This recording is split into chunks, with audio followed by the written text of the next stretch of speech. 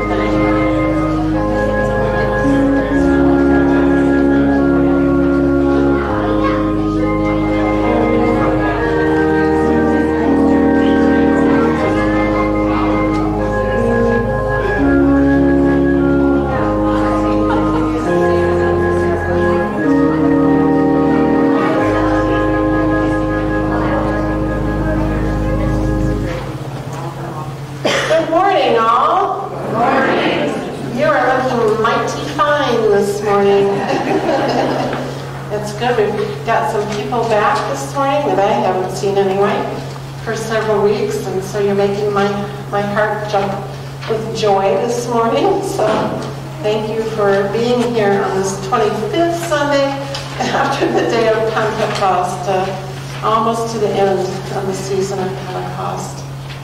So I greet you in the name of Christ. We finished up our sermon series uh, last week, and um, we're starting just a real short two-week series this morning about how God takes our little and makes it much. And today we're looking at the parables of Jesus about the three lost things. Do you remember what they are? What's, sheep? What else got lost? Hmm. You guys are gonna fail the test. What is it? Coin, Coin. and one last one. Sheep coins, a coin. And the son, the prodigal son, you know that story. I'm sure that you do. Oh, those are all three parables of Jesus in the Gospel of Luke, chapter 15. So that's what we're looking at today, how God takes our little and makes it much. And we're looking at uh, how God finds the lost and celebrates with joy. So let it be so. Here's a few announcements for you uh, today. Um, the vision team uh, meets on Tuesday at 6.30. So if you've been serving on the vision team, we're working on our vision statement and moving forward in old and new ways. And so please be here Tuesday night at 6.30. And then Wednesday night, you're invited to come here to the Breckenridge Sanctuary for a movie night. We're going to be showing the musical Esther uh, based on the Ohio Play Production uh, Company. And so uh, that's from 6.30 to 8.45. It's a little bit longer, and we'll be right here in the sanctuary um, at Breckenridge. And whether you were part of that small group adult study or not that just finished up Esther, you are welcome to come and see uh, the play.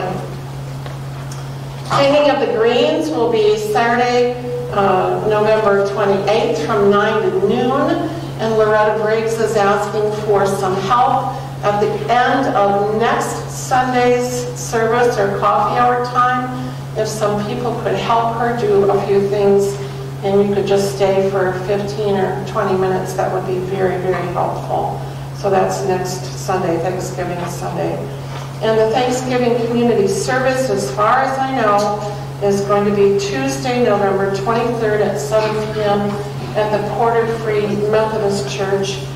And I say that that way because of the COVID that's in the area. So the Ministerial Association meets this Thursday and will make their final decision whether they feel like it's safe enough for the community to gather together or whatnot. And then the rest of the announcements on your page you can uh, read for yourself uh, today. Lots of things beginning uh, to happen for the holidays. And with that, we'll ask Miss Lois to get us going this morning. Good morning. Good morning. Please stand as you're able for the call to worship. God is our hiding place, our shelter during times of trouble. When we come before God, confessing our transgressions, God receives us with open arms. Why then do we tarry? Now is the hour of our salvation. For we were lost, but now are found. We were dead, but now are alive with Christ. Our hymn of praise is Amazing Grace, and I'll find the words in the insert in the bulletin.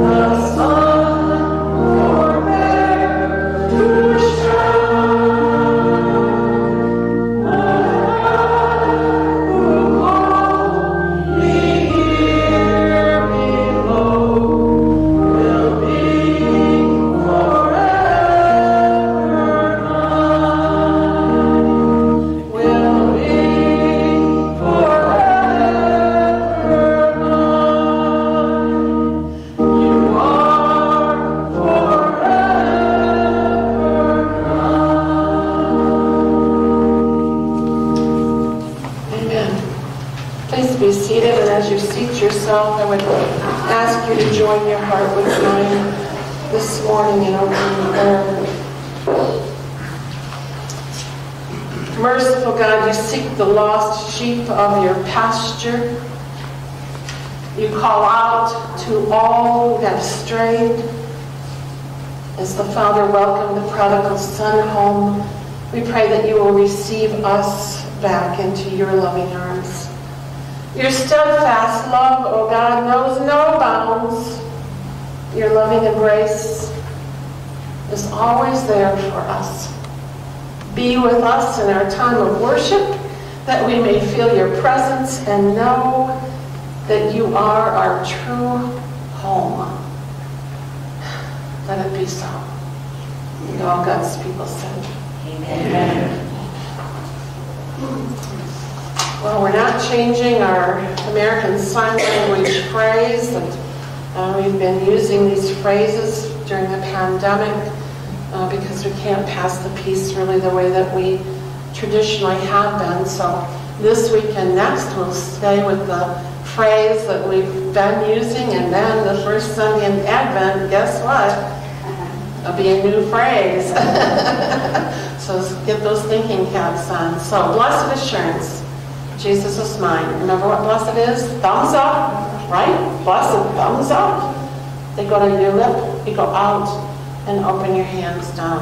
Assurance. One arm over, one arm up with the finger pointing up because our assurance comes from God. Jesus, the nail holes in the palms of the hand. Is is the letter I to your lips and out is mine. Come on. Let's do it one last time. Blessed assurance.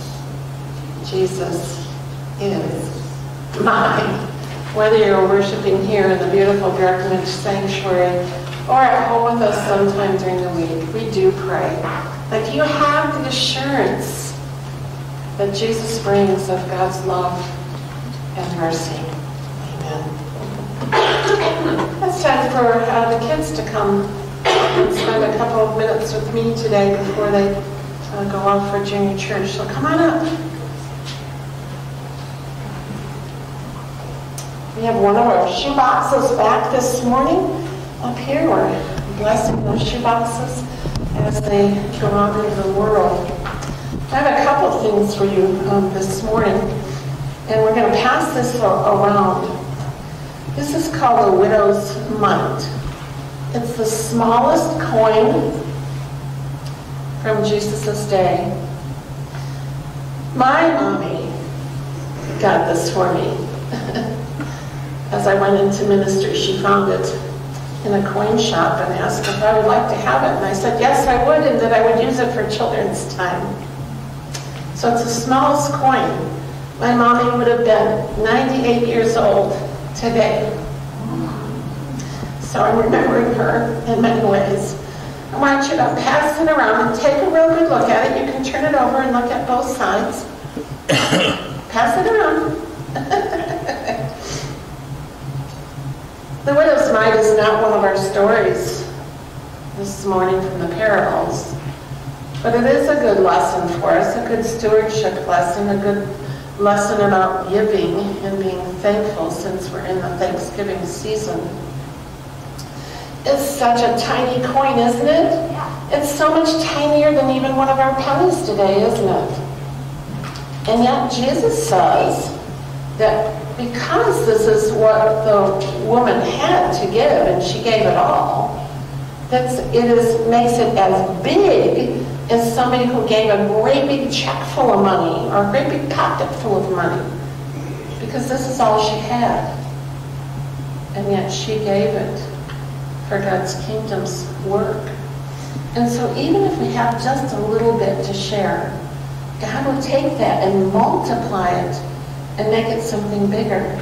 And even if we just have something small to share, if you add your small and your small and your small and my small and your small and your small all together, look what happens.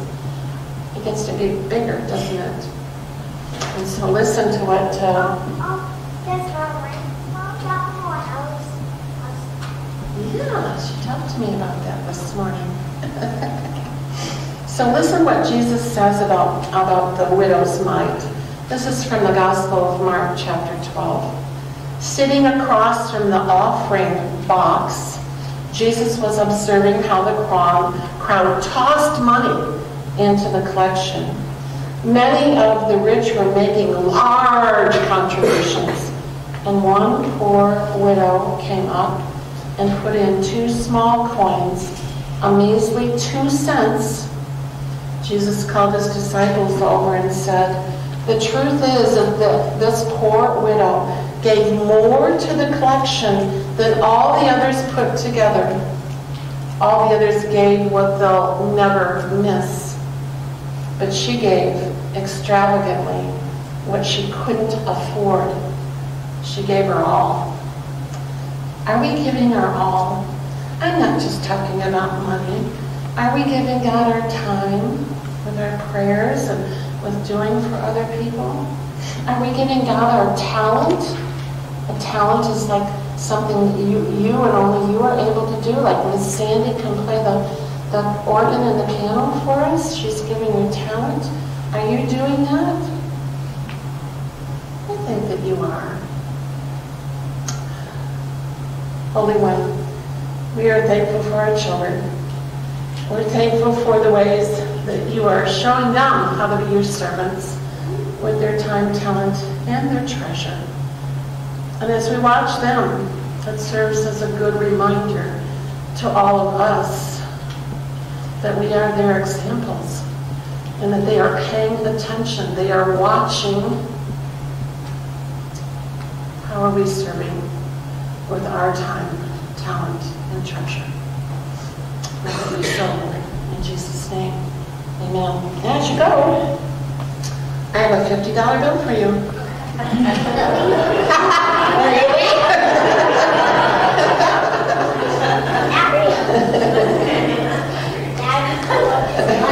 it would be cool.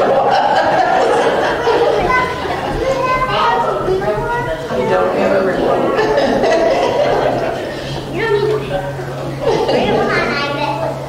Oh, how blessed we are with these children and youth. What a blessing they are to me, and I pray to you.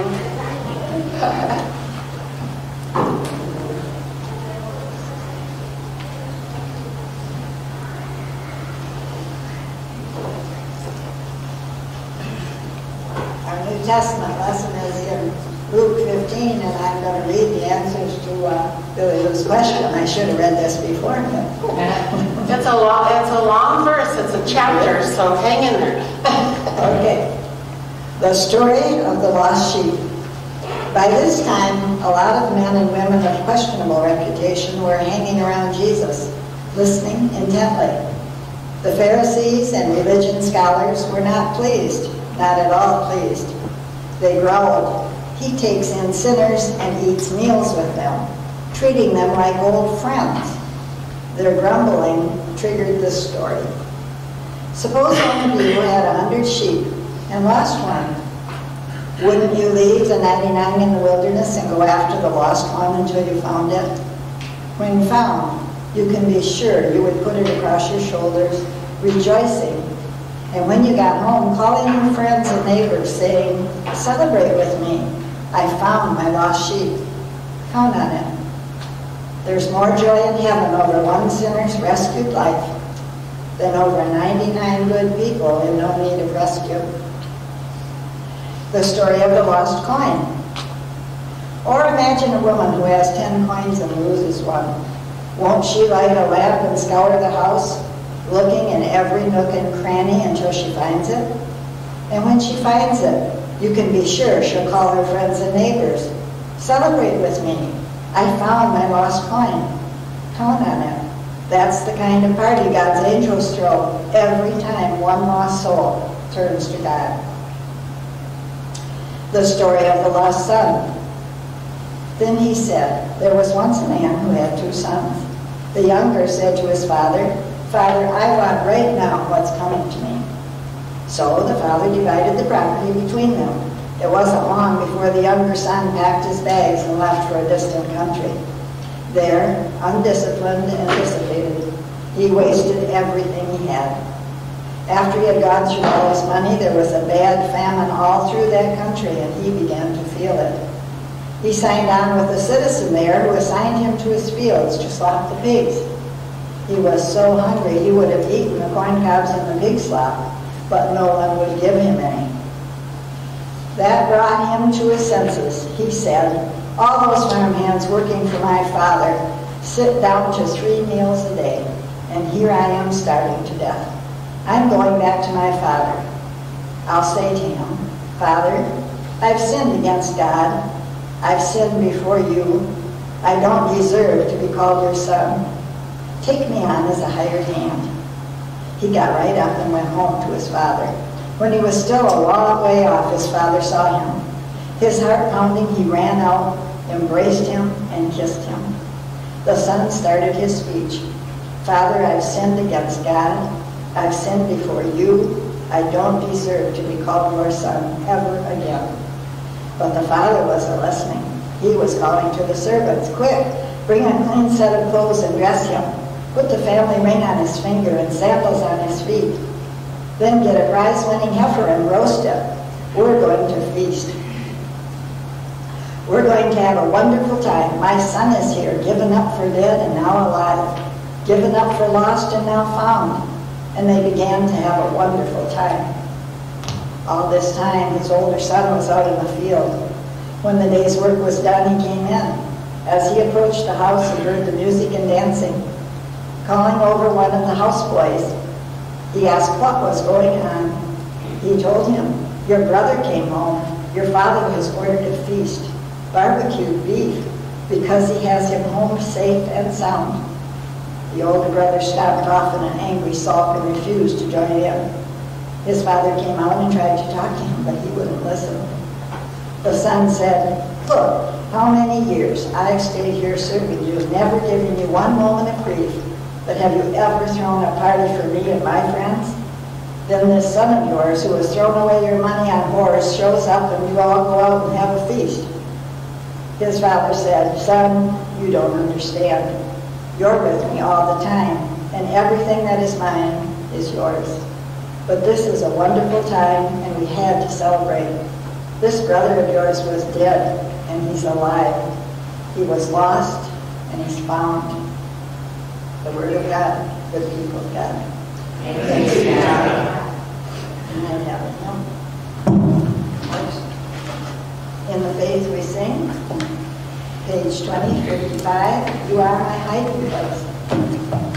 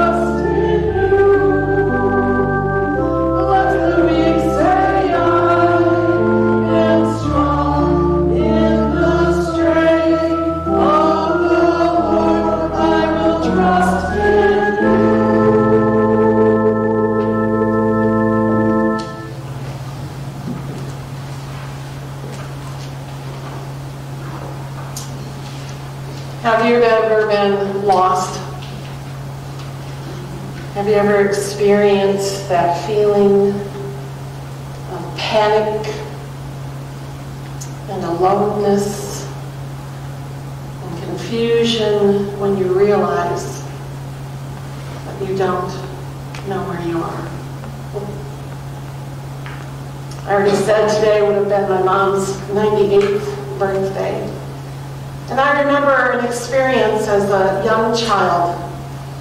I don't know exactly how I was, how old I was, maybe five, six, seven, somewhere in there. And I was shopping with her at the J.C. Penney. and I don't know exactly how it happened. I remember playing underneath the metal clothing racks. Remember the round ones? And I went underneath the clothes, probably thinking, what a great place to play hide and seek, right? And I stayed there a while. And when I came out underneath the clothing, mom wasn't there. So I began to search. And I can remember that feeling of panic setting in. Big store. Big ceilings. Lots of people around, but I didn't know who they were. And they didn't know who I was. I don't know how long it was that I remained lost. But then mom came back and found me. And of course, I got a little scolding. Where had I been? When I explained to her I was just playing hide and seek underneath the clothing rack. She kind of sort of understood. wow. How many of you have been lost? Getting lost is terrible. But being found is pretty darn wonderful. the feelings, the emotions change, don't they? That panic, that anxiety, that fear turns into joy. That's the way God is. He takes our panic and our anxiety and he can turn it into a joy of celebration. The stories, the parables from today's gospel reading from the 15th chapter of Luke teach about being lost. The lost sheep, the lost coin, the lost son. There are several ways of getting lost. First, we can get lost, kind of like I did, by wandering off. There's a story about a small boy in a very large mall. He was pretty young too, maybe seven, eight. I don't know how he got away from the people that were supposed to be in charge of him. His name was Christopher Walker. he was just window shopping, you know, just walking, walking, walking along. When he heard a big voice on the public address system saying, Will Christopher Walker come to the big clock in the middle of the mall? will Christopher Walker come to the big clock? And it was he was overheard saying, Oh rats, I'm lost again. Our faith pilgrimage sometimes is like that. We wander off and get lost. The lost sheep didn't mean to get lost in Jesus' story. The sheep didn't intentionally get itself separated from the flock or from the shepherd. It just wandered away. It was just eating green grass, not paying attention. And when it finally looked up, it realized that the flock and the shepherd were not there. The flock and the shepherd did not leave the sheep. The sheep wasn't paying attention and just wandered off on its own. Our spiritual lives can be like that, especially these days. It's easier than ever to lose touch with our God. It's easier than ever to lose touch with each other. God hasn't wandered from us. We have wandered from our awesome, amazing God and God's grace. We too often wander off and get lost. This long season of pandemic has created wandering souls. We all know it's gotten easier and easier to stay home. Stay home in our comfort, in our PJs, with our cup of coffee, a breakfast roll. We think we're going to watch the service a little bit later in the week because we've made it available. And then the week gets going and gets busy. We're wandering off. The church leadership is even having conversation about those that have not made it back yet, who still are not feeling safe enough, comfortable enough. And there's nothing wrong with that. We want them to feel safe. But it's getting so easy to wander off, to get lost, not know how to return. The second way to get lost is to be led astray by others. The lost coin in Jesus' parable did not lose itself. Someone else lost it. The woman in that parable lost her coin. She went through an agonizing, painful experience. The coin she lost would have been one of the ten coins on her headdress, the mark of a married woman. This would have been like losing a diamond out of your wedding band. Imagine her joy and relief when she finds it. There's a difference in these three parables. A difference here with this lost coin from the lost sheep and the lost son. The, lo- the lost coin gets lost through no fault of its own. It doesn't wander off like the sheep. It doesn't run away like the lost son. It gets lost because someone else loses it. Someone else isn't paying attention. Someone else lets it get away. The lesson from this parable for us is to not lose the coins that are precious to us and to God. It's vital as Christians.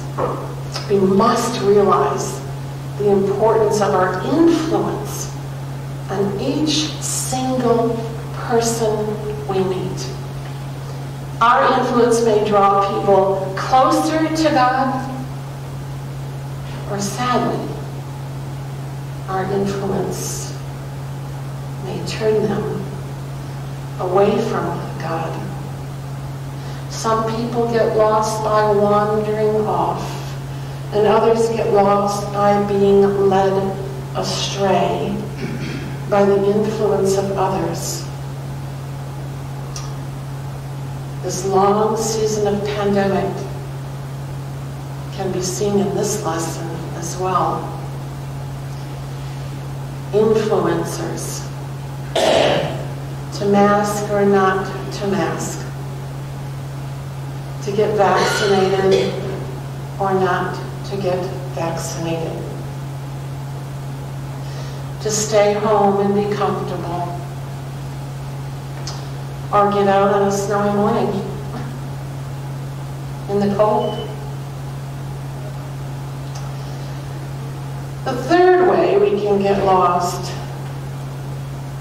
is by arrogantly choosing to run away.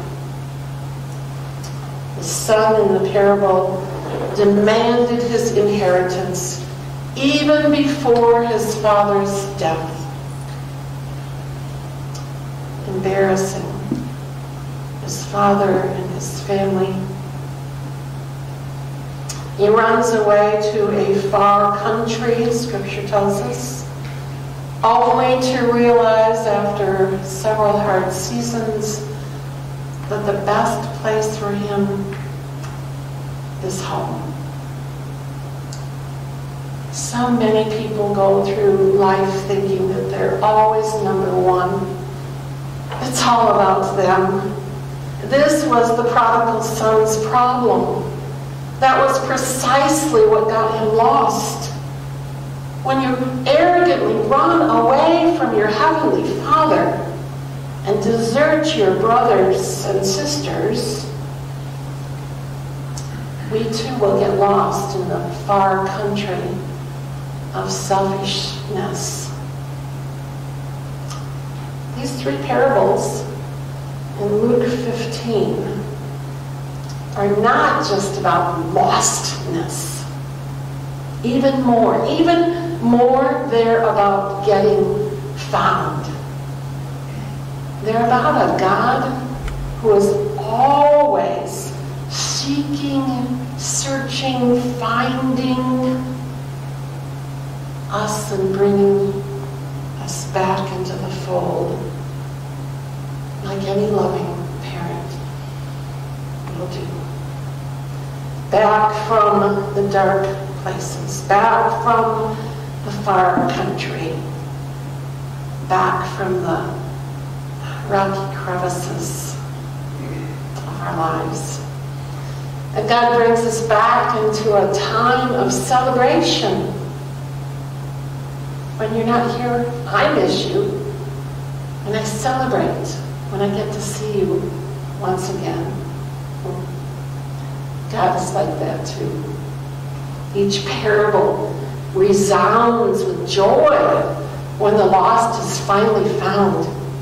These parables are like what I found the hard way as a child, lost in a big department store.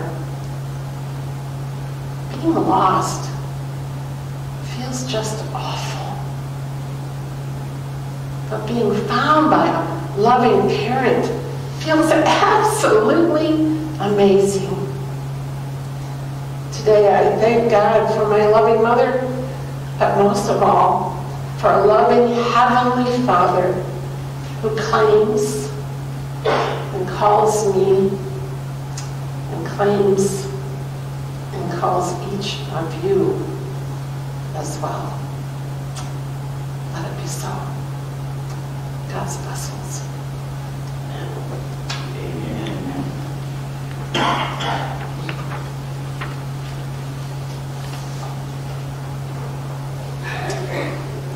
It's time for us to raise our joys and our concerns. And some weeks we're full of joys, and other weeks there's so many concerns on our hearts. I'm going to start with the concerns that I've received, and this is kind of part of both. So Roger is asking for prayer for peace between Belarus and Poland. Another one of the places in our world that is hurting.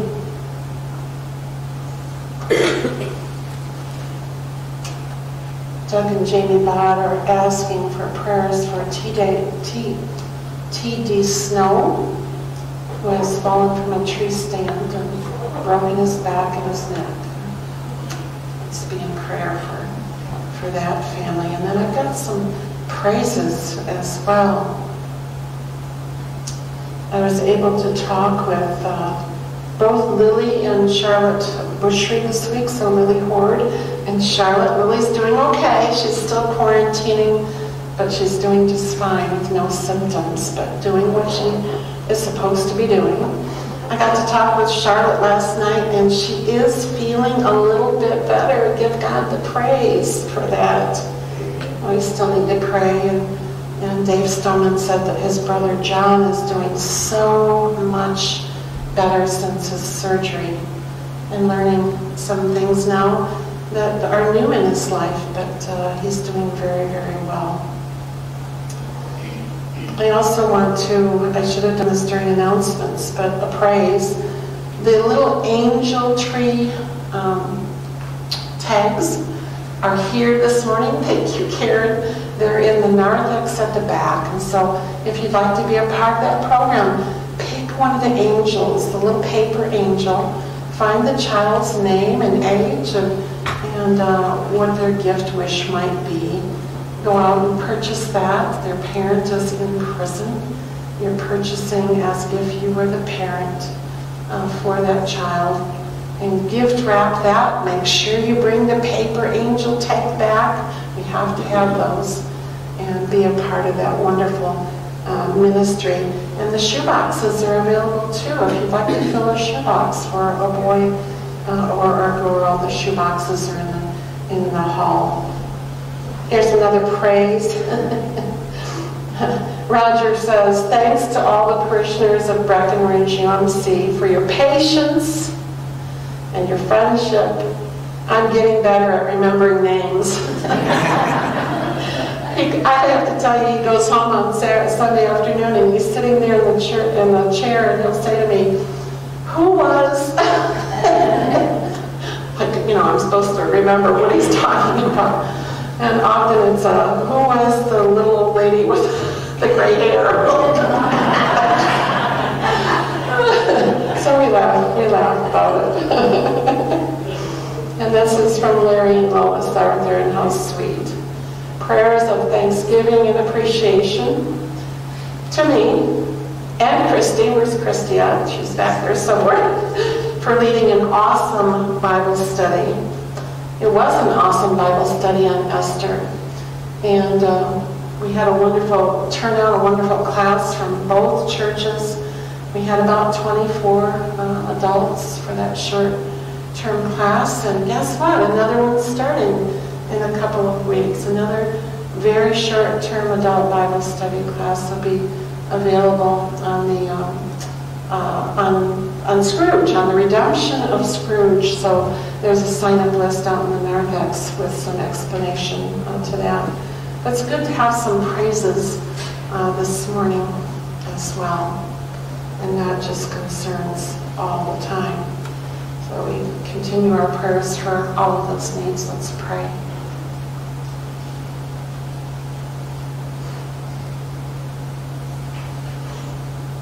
God, you are amazing.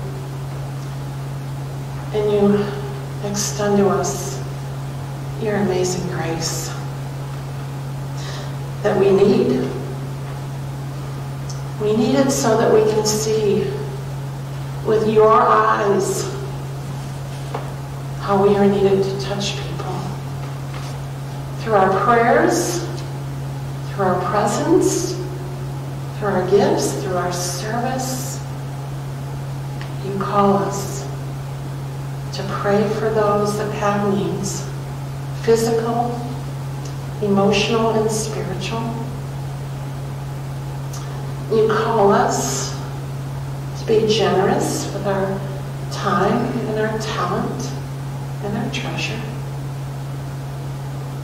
You call us to be your hands, your feet, your mind, your heart, and yes, even your pocketbook when we're able to do so. You call each of us to help your kingdom work in some way. So our prayer today is for you to open our ears and our eyes, and to help us to never wander away, to never be influenced away, and to never choose to run away. We need you. And I believe you need us as well. Hear these prayers that we've lifted this day, the joys and the concerns, the ways we can be in ministry with and for each other and beyond. And as we see you working in our lives, we will come back to you with thanksgiving and praise. In Jesus' name, amen. Let us take just a few moments to remember to be thankful for the abundant blessings in all of our lives. And as we give God the thanks for his blessings, let's be thankful for Sandy who blesses us each week.